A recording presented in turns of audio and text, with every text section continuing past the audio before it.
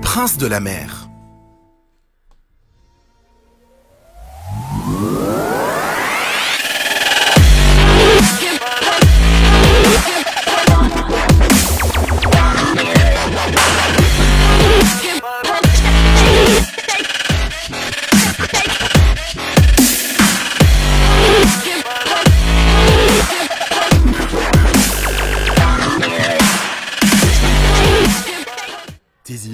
Donnez à vos rêves une autre dimension. كابتن وين الكاب اليوم؟ باش نعمل بيكم دورة بالدرون؟ يلا. الدرون في العالم الكل يلعبوا بيها الكبار والصغار وفي تونس بلادي ما زالت ممنوعة وتهزك لدار خالتك. أما الدرون متاعي راهي importée. شراها لي ولد عمي صالح اللي يعيش في مرسي دخلها لتونس على خمسة مرات بالمروحة بالمروحة وبالبولونة بالبولونة. وكما يقولوا اللي يسرق يغلب اللي حاحي مختصر الحديث هزيت الدرون ومشيت للشط. مني نفرهد على روحي ومني نستكشف ونتجسس ونسترق حكايات العباد. موكم تعرفوا عاد الهواية رقم واحد للتوانسة هي التنسنيس والله لهينا بحوايجنا. المفيد طيرت الدرون وخدمت الكاميرا ويا ريتني ما خدمتها. أول ما بعثتها بعثتها القاع البحر. أي ما نسيت باش نقول لكم عندها option جديدة étanche مش فلور étanche كيما بعض من رواد شبكات التواصل الاجتماعي. كيف هبطتها القاع البحر لقيت ما شاء الله من حكوك الطماطم وهريسة وتن و couches بنات ولاد وحتى ال unisexe موجود. بونتات متاع دخان. عجالي الله أعلم إيش في وسطها. مانيش باش نقول لا يهزوا البر... معد البرنامج. ما غير ما نحكي على دبابس بنواحة صافية مع صابرين معشية مع مروة تحكي على تيجان وحياة ودنيا. يلعبوا مع بريه والدراين منشرة بنواحة في بالي ممنوع استعمال الدرينة البلاستيكية. كل شيء شفته بالكاميرا إلا نبتة البوزيدوني اللي حكينا عليها خونا ياسين الجمعة اللي فاتت. البحر حرثوه والحوت الصغير قتلوه. والله شيء يبكي حتى الحجر وكما قال ولد جيراننا فيكتور هيغو غالبا ما تكون هناك أشياء غارقة في قاع الروح أكثر من اللي غارقة في قاع البحر. والله في تونس فما عباد مستغلين لا عندهم لا قلب ولا مرارة لا يهمهم لا حوت كبير ولا صغير ولا حتى اللي يدبي على الحصير. لا يخموا لا في ولادهم ولا في ولاد ولادهم. فؤادي قبل ولادي أعطيه يعبي جنابه بالفلوس وما يهمه في شيء. اسمعوا جاك إيف كوستو إيش قال. قال يلزم نزرعوا البحر. ونربيوا الحيوانات اللي فيه ونستخدموا البحر كفلاحة مش كصيادة هكذا تتكون تتواصل الحضارة. الزراعة تولي في بلاصة الصيد. وراهو مستقبلنا ما يجم يتواصل كان كيف نستحفظوا على الطبيعة. وكما قال صاحبنا كوستو زادا تاريخيا كان الإنسان يحارب في الطبيعة من أجل البقاء. وفيها القرن بدا يفهم أنه من أجل البقاء يلزم يحمي الطبيعة مش يحاربها. نرجعوا لهيك الدرون. طلعتها من الماء وقعدت نطير فيها بحذا الشط. نلقى ماء هابط أصفر يتسرسب. يظهر لي نتاع الصرف الصحي. وبحذاه مواطنين طيبين يعوموا. حقهم في التفرهيد. قلت لهم يا ولادي الماء مسخ. قالوا لي تي شوية antibiotique ما يقلقش. هكا نحترموا في تونس مواطنينا اللي يحبوا يتفرهدوا. زدت قدمت في البحر نلقى مراكب تستعمل في الكيس وتحرث في البحر. أي يا سيدي في بالكم اللي على 15 كيلو حوت نخسروا 400 كيلو من الثروة السمكية والنباتية. وهذا كله بسبب الصيد العشوائي اللي مارسوه بعض البحارة مش كلهم. وفي الثنية زادة شفت باخرة تجارية تسيب في المياه الملوثة في البحر تقدم ومخلية وراها واد أصفر اللون والحوت ينقز من الفرحة. تشبيك راهم لقاو زردة. المشكل أنه هيك الحوت المسخ ناكلوه ونوكلوه لصغارنا. وتو يرضيكم هذايا. اسمعوني يا جماعة الإنسان وحده ما ينجمش يحط فلوكة في الماء. يعني الفرد وحده ما ينجم يعمل شيء. يلزم الكلنا نلتزموا بصياغة قانون أخلاقي. قبل كل شيء يجم يحكم في علاقتنا مع الكائنات البحرية الكبيرة والصغيرة اللي في الماء واللي في الشط. نتمنى أنه نتمنى أنه هالحلمة تتحقق. باش ولادنا يلقاو ما ياكلوا ويلقاو وين يعوموا. نحب نذكركم أنه الماء يش- يشغل 70% من مساحة الأرض وفيه 97% من مخزون المياه وهالماء هذا هتكناه. تعرفوش اللي 80% من الأوساخ اللي في البحر تجينا من الأرض؟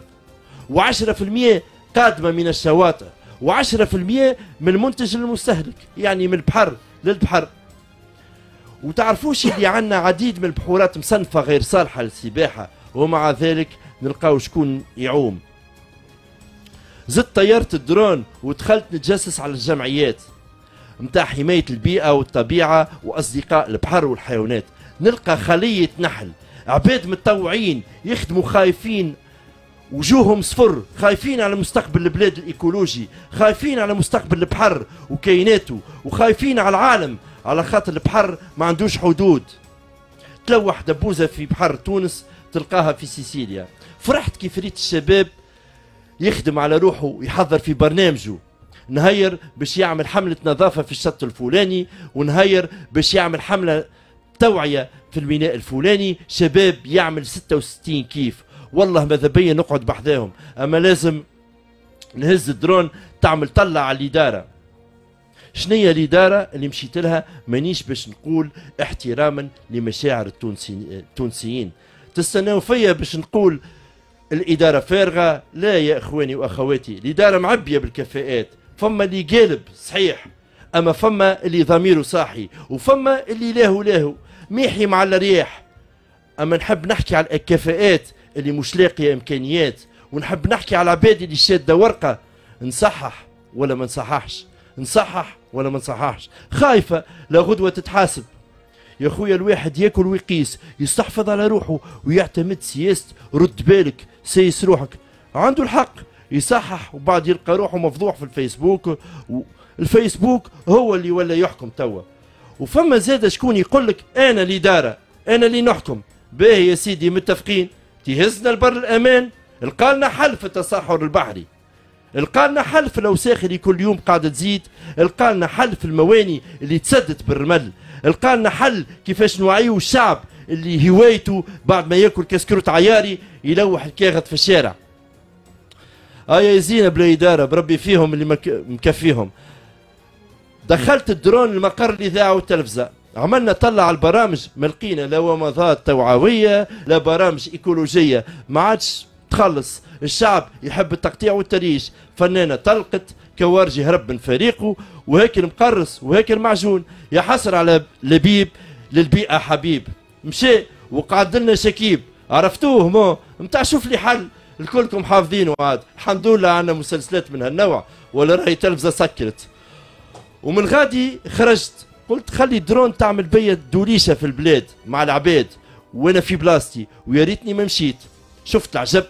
اللي يشرب الماء يلوح الدبوزة في القاع واللي عنده عقاب كابوسان في الكرهبة يلوح القبلة في الشارع والبونتات والساشيات والكاغت والزبلبة المنواحة مزينين الدنيا.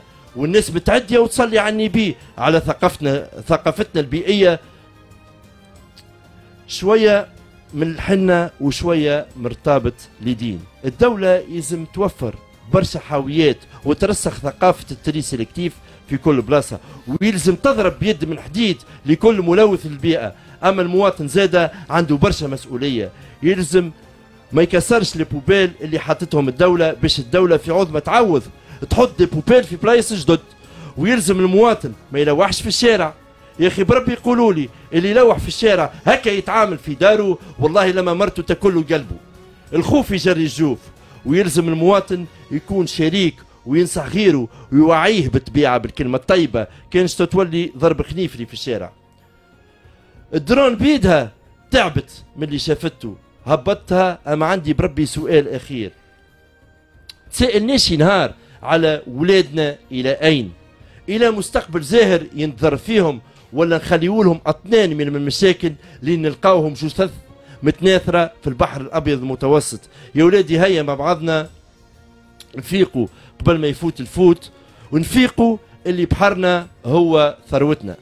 المهم اللي اليوم مازال ما فاتش الفوت آه، كابتن. انت قلت اليوم اللي الكفاءات التونسية اللي موجودة في الإدارات نتاعنا آه، خايفين حتى إنهم آه، يتحملوا مسؤوليتهم إنهم يبادروا باش باش ياخذوا قرارات اللي تغشش peut-être برشا عباد لكن الخوف هذايا الشعب زاد خايف خايف من اليوم خايف من غدوة والخوف هذايا عديناه عديناه لشكون؟ عديناه للمستثمرين نتاعنا اليوم مستثمرين نتاعنا اجانب كيما مسيو روجي سي بريزون آه عندهم تخوفات كبيرة تخوفات كبيرة من المستقبل الناس عندها 17 سنة وفما اللي عنده 10 سنين فما اللي عنده أكثر. اليوم في 2022 ولاو خايفين والخوف هذايا قادر يضر اولا في ال business نتاعهم هما وثانيا يضر بالصورة اللي نحبوا نسوقوها لبلادنا وذايا تقريبا باش يكون الموضوع نتاعنا شوية آخر. في bataille navale نمشيو فاصل قصير وراجعين.